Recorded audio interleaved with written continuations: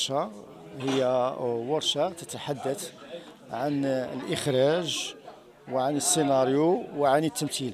هذه الورشة كي يؤطرها أساتذة متخصصون ومحترفون في الميدان. آه، الورشة السيناريو يؤطرها الأستاذ عبد الإله الحمدوشي اللي هو أستاذ غني عن التعريف أستاذ آه، قدم لنا عدة أعمال. كالفيلم السينمائي الأبواب المغلقة كمسلسل تلفزيوني شجرة الزاوية وعدة أعمال أخرى.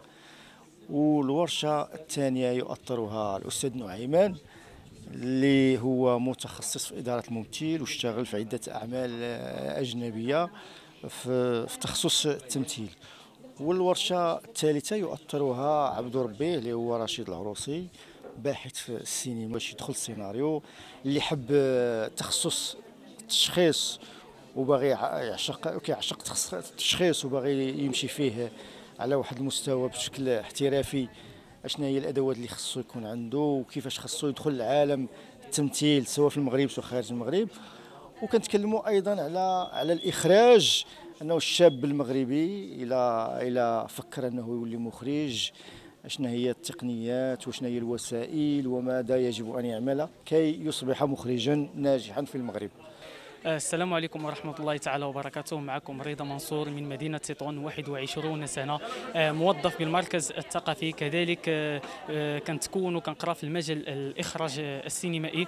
أود أن أشكر الإدارة التقنية على هذه المبادرة الفنية القيمة التي نراها كل عام. شكرا لكم على هذه المبادرة التي نراها كل عام في هذه في هذه المدينة الموقرة. بالنسبة لنا حنايا في هذه الورشات هذوما استفدنا بزاف. وفي الحقيقة يعني جبرت واحد الوصف مع الذات ديالي بلي أن السينما تعتبر صناعة السينما واحدة من أكثر القطاعات تأثيرا في المجتمع الحديث. فالأفلام والمسلسلات الكوميدية دائما تجعلنا نضحك وتلعب الأفلام الإثارة النفسية على رؤية العالم من منظور مختلف.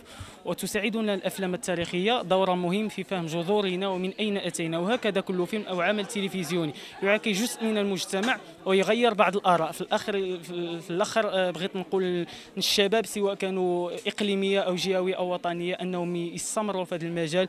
وكان كنزيد نذكر بلي انهم يتكونوا يتاثروا ويبحثوا مزيان في هذا المجال لأن أهم حاجة في هذا المجال هذا هي الدراسة. والسلام عليكم ورحمة الله تعالى وبركاته. تحية طيبة للجميع. آه، معكم سلمى الحدادي responsable de formation et coaching à Leader Academy وممثلة صاعدة. وكذلك آه، حاليا كاينة في الجمعية ديال إيمنزا الريف آه، للتراث الريفي. واليوم كنا في مركز آه، إكليل آه، حول ورشة ديال آه، التمثيل والإخراج والإنتاج مع الممثل نعيمان وكذلك مع المخرج والسيناريست رشيد العروسي وكذلك مع المنتج الحمدوشي. تكلموا بصفة عامة شنو هما الطريق اللي غنقدروا نسلكوا باش نوصلوا الهدف ديالنا فيما يخص سواء الإنتاج أو الإخراج أو التمثيل. وكذلك حاولوا أنهم يفصلوا لنا بشكل مبسط شنو هما الإيجابيات ديال الميدان وضافوا واحد الإضافة. مدينة تيطون هي مدينة سياحية وكذلك عندها بزاف ديال السياح ديالها والروافد ديالها اللي كيجيو المنطقة ديالنا. حاولت تكتشف يعني التراث ديال آه، تطوان وكذلك المزيج ديالو مع التراث الريفي الأمازيغي وبالأخص بالحضور ديال النجوم والمع النجوم المغاربة من مختلف آه، مختلف المدن. وكذلك آه، المجتمع التطواني حاول أنه يفتح يعني انفتح على بزاف ديال المجالات خارج وداخل الوطن. وكنشكر 都是不方便，嗯，怎么不方便？